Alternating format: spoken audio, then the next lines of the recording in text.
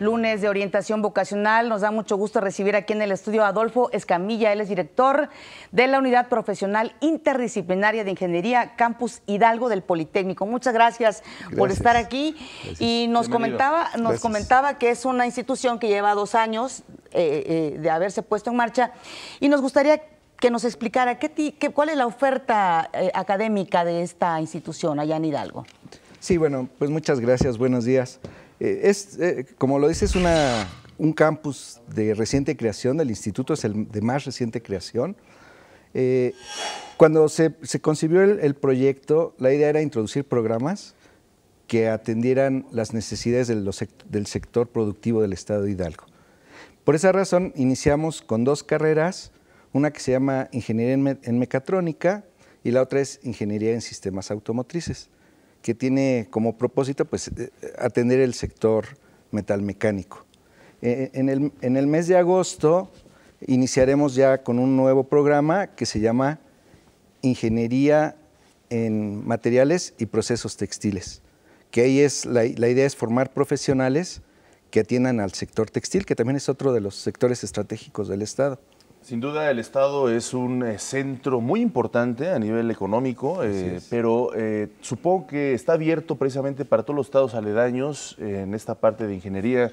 ¿Cómo, cómo se desplazan? ¿Cómo es la movilidad académica en este campus del Politécnico Nacional?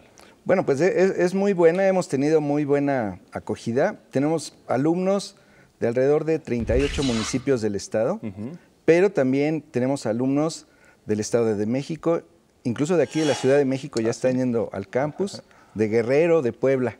Entonces pensamos que una vez que se consolide la unidad, podremos tener una cobertura eh, para Querétaro, Puebla, Guanajuato. Que son estados colindantes. Javier Esquivel, lo que hemos visto, por lo que nos platica, es que, bueno, están enfocadas estas carreras precisamente a áreas muy estratégicas, no solamente diría yo para el estado de Hidalgo, ni para los estados conurbados, sino para el país.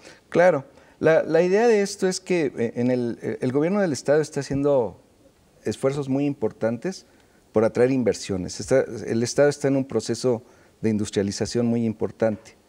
Entonces, la, oferta de estos programas creo que a futuro contribuirá a fortalecer la cadena de valor del Estado. Y eso contribuirá sin duda a atraer más inversiones.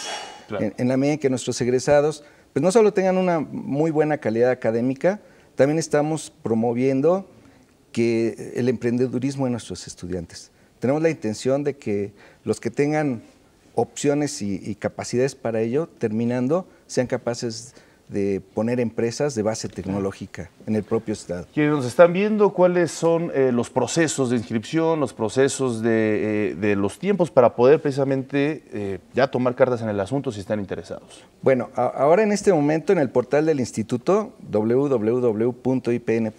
está abierta la convocatoria para que puedan presentar el examen de admisión que se va a realizar la última semana del mes de mayo. Eh, tengo entendido que se cierra el 10 de mayo la, convocatoria, están a, tiempo. Entonces, aunque el examen para ingresar al campus de nosotros sí lo tendrán que ir a hacer a la ciudad de Pachuca, en el campus de Pachuca. Pues ahí está la página para que quien esté interesado pueda acceder a ella. Finalmente, eh, Adolfo Escamilla, eh, ¿qué vínculos tienen, por ejemplo, o están buscando vínculos con las empresas en este tipo de carreras? Pues de de muchas maneras. Eh, por ejemplo, eh, recientemente se anunció la llegada de una empresa, una empresa armadora china que, que, va, a armar vehículos y que bueno, ahí mm, directamente está el mercado abierto para los alumnos de los dos programas. El, programa que vamos a introducir en, el mes de agosto tiene una particularidad que nosotros le llamamos es un modelo en alternancia. La idea es que los jóvenes estén tres semanas en la, en la escuela y una semana en la industria. Entonces, este programa lo hemos desarrollado conjuntamente con las cámaras de la industria textil y de la confección. Y entonces, pues nuestros alumnos desde a partir del tercer semestre van a estar involucrados directamente con la industria. Pues muy importante, muy importante esta casa de estudios allá en, Hidalgo, del Instituto Politécnico Nacional. Le agradecemos mucho eh, a Adolfo Escamilla Esquivel haber estado con nosotros en México al Día. Muchas gracias. Muchas gracias. Gracias, gracias.